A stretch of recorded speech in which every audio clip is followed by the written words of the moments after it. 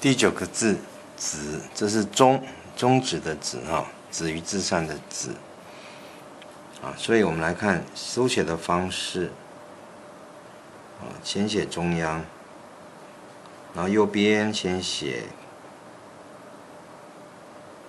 弯过来啊，这弯要弯好一点，左边间隔，然后要一个弧度。